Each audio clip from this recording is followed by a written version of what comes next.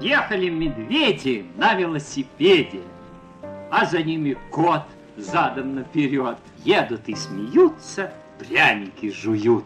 Вдруг из подворотни страшный великан, рыжий и усатый таракан.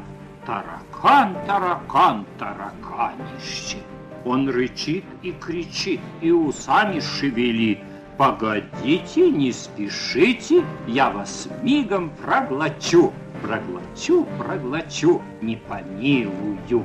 Звери задрожали, в обморок упали. Только раки-забияки не боятся бою драки. Хоть и пятятся назад, но усами шевелят И кричат великану усатому. Не кричи не рычи, мы и сами усачи. Можем мы и сами шевелить усами. И назад еще дальше попятились. И сказал гипопотам крокодилам и китам, Кто злодея не боится и с чудовищем сразиться, Я тому богатырю двух лягушек подарю И еловую шишку пожалую. И веселою гурьбой звери кинулись в бой.